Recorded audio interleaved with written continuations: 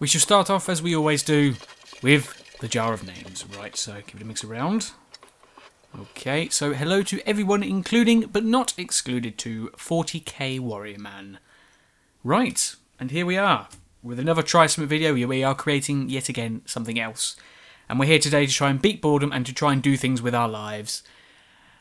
So since I made the video background where I put up the shelves and everything and sorted it all out, I had a desk which I didn't know what to do with. I was going to chuck it and then I thought, no, I will cut it up and I will make something else with it. So I decided I needed a unit to where I could store things and put my consoles, like PS2 and PS3 and all that sort of stuff. So that is what this is going to be about. I've got my big mug of tea ready with me. It's going to stay with me until I make this. So let's create something which I've just told you is a unit, wooden unit or console unit, whichever you want to call it. Right, so let's start off with what you're going to need. Some wood, a saw, a screwdriver, some sandpaper, a drill, a spirit level, a tape measure, a pencil, and some screws. Step 1, mark out where you need to cut. So the clip you are watching is actually a mistake. I am not sure if this is a mistake, but there is a mistake in this video as well where it was too short because I failed to realise it was a mistake. So here's what there's always. So there's a little tip that I've always been told where it's mark twice, cut once, and it basically means make sure you got it right before before you start cutting and make things unchangeable or have to start again. I didn't do it this time. When I did the mistake, I didn't do that, and obviously that's where I got the mistake where it was wrong. Uh, so I did start checking after that, and then I think I think most of it was all right. Although there is some plans later where my from my original plans, which you saw at the beginning of the video, uh, I did have to change them because uh, things went wrong. It was my cutting was a bit squiff and wonky, so I had to sort of shorten it and make it less uh, longer and shorter. And obviously, pieces of wood I had weren't big enough, so I had to sort of shorten down some of the shelf lengths. So I had to sort of deviate from my original plan. But I did manage to make some, pretty much something that I did want at the end. Obviously, I'm recording this after this voice, so that's why I know all this. But yeah, it did work out in the end. But well, or did it? Maybe I should leave it a surprise. Did this work? Is this video a big fake video because I didn't actually make it? I guess we'll find out in a few steps' time. Eight steps, I think. Step two, cut the wood. Yeah, this is what took most of my time. Uh, on and off, I did it one, one, once a week, uh, cutting all the pieces. I think it took me about four weeks to do, so for about four days, although sometimes I did a little bit of here and there. And when I say four days, I mean like two hours each, so it, it took a while. It did indeed, but I managed to get it done. I tried to go outside where it was sort of light as well. Like I heard something about video things where they use something. It's called the golden hour, where it's one hour before sunlight, uh, sunlight, sunrise, and one hour before sunset. That's when I tried to record. So the first few clips of this video, some of the, you can obviously tell when I'm on the white table. That is where I started to. That's when I did that. Just so, you, just so you can tell the lighting differences. I'm using a coping saw as well. You might be able to see on some of the clips as well. Uh, the coping saw is not used for that. It's used for more curves and straight ledges, edges, ledges, edges.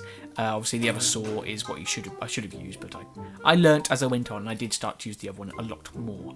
Uh, but I do think the coping saw was a bit blunt, so it didn't really work extremely well. What? I know some of this stuff. I did woodwork in school. GCSE level, I think. And one day I got a little bit adventurous, so I decided to do saw cam where I taped my camera to the saw so you get like a first person view of the saw. Why not? I didn't see every reason why I shouldn't. And it was fun. and very amusing. Step 3 Sand the edges of the wood. So this is not what you should be doing. Like what you should be doing is using files. Like it's called a bastard file. It's that's what it's called. It's like a big sort of very very um, like the gaps of the file, what they're called, you know, the little lines on the, on the, file, they're very quite spaced apart, so it's quite a good sort of gets off the initial roughness, but obviously it still leaves it quite rough. That's what you should use, and then there's another file you use which is finer. You use that, and then you use the sandpaper, like the thick sandpaper, and then the you know the lesser thick sandpaper. Of course, I didn't have any of that. I only had the sandpaper, so I used the sandpaper. So some of the edges are still a little bit, what's the word, rough but I've got away all of these sharp bits which would give me splinters, so it's good enough for me at the moment, but it could be better. It could have been better. But a lack of tools. Right tool for the job, and I did not have the right tool. But it worked. Step 4, make the holes for the screws and the drilling. Well, it should be drilling and the screws, I suppose, actually. So now I'm trying to, what I was trying to do was I was trying to sort out where to put the screws, because the screws are going to go through some pieces of wood into other pieces of wood to hold it all together. Some things, some bits of screws are going to stick out so I can put the shelves on it. Uh, and obviously I only had the, the screws from what I had when I dismantled the table. So I didn't have some, I didn't have these ones where it was like a it's like a metal dowel where it sticks in, it sort of doesn't screw in, it just plugs in and sockets itself in. So I only had four of them, so I could only use them on one shelf, and I've got two shelves. So I've decided to use that for the top piece, which uh, you'll see later on, which slots onto the top because it would have been painful to put some screws up through the top, going up of the actual main base bit up into the top bit, which is like the top shelfy thing, because that would have been too close to the wall, so it wouldn't have it would have been painful, so I decided to obviously make it, my life easier and use the metal dowels. Although it wasn't actually easier because trying to find the right drill bit for the actual metal dowel holes were very hard to find. It took me a while. I was looking for about half an hour, but I managed to find one. And it fit, and I was like, yes! Step four, I think, might be step four. Step four, start to screw the pieces together. Is this actually the last step? Uh, they are actually to fit together, like as you can probably see me, the process of like a, not time lapse, but different stages of me putting it all together. Like I started off with the top bit, which you might have seen the video. You might have seen the clip when I was showing off because I was proud of that. That was good. That was the best bit about it, the top bit, because it was quite small and easy to do. Uh, but then I started to put the main base bit together when I went inside when it got dark, um, where they all, you know, the two slide bits slot in together, which was the, holes didn't match up, but obviously they some of them did, so I did I did manage to do it a little bit. Uh, so that got together, and I did notice it was a bit wonky Again, this is not perfect. This is man-made. Yeah, man-made, human-made. Me, homemade, home-made. So it's a little bit wonky, which was bad, but uh, it's okay. It's fine right now. And then the top on top, which is oh, it was all right until um, one of the screws. I think when I drilled, uh, the, the hole was a bit slanted, so the screw came straight down and out to the side and pushed some of the front chipping off, so it's chipped, which looked bad. So I managed to take that screw out. So now there's only three screws holding the top piece in place. The chipping bit fell off, so you could see the chip wood behind it. Uh, but I just stuck that bit back on with a bit of Blu Tack, so now it's just a bit of a, a bit of a line.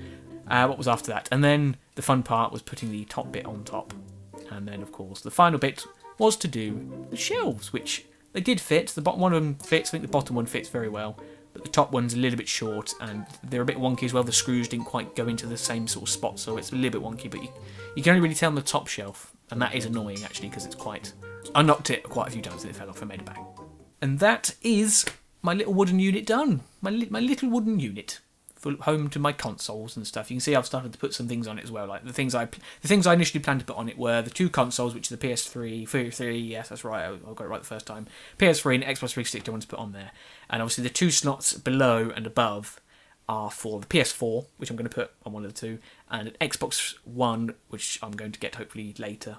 Don't know when, but later is going to go either on the top or the bottom. But that is pretty good, and like I said, I've got the uh, other things as well on top, such as the my, my messy papers bit, which I need to sort out, but that I needed to do this, what's it called, this unit before I started sorting my room out, but that's going to get sorted soon, that's where they're going to live, just in that little cubby hole there.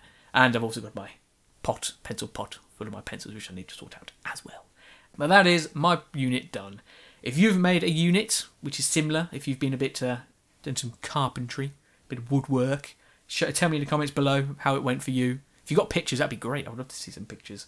But this is just my guide of how I've done my one. But yeah, I'm pretty pr proud of it. It's a little bit messy, but not bad for a first time. Not bad for a first timer with the old woodwork. But I'm pretty pleased with it. Uh, so yeah, so thanks for watching. That's just one way to try and beat boredom and to try to do something different with our lives. Try to say we've now I've done a bit of woodwork. I built a unit. Anyway, I'm going to finish my cup of tea now, and I shall see you later. Goodbye.